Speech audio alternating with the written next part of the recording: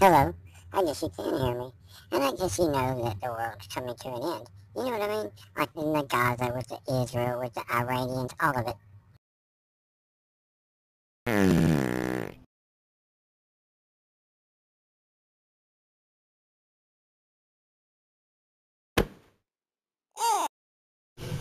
Um,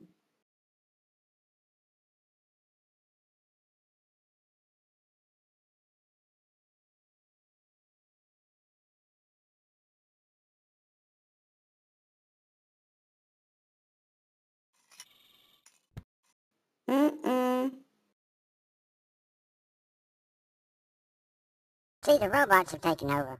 You know, that's that's you might have just seen a glitch. It's a robot thing. You know what I mean? Robot this, robot that.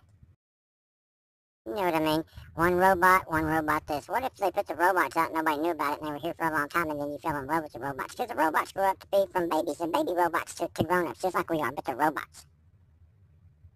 And nobody can tell the difference because, you know, they grew up just like we are. But the, but the number one thing you need to know is that they're robots, okay? They're not real human beings. They're robots. They're robots.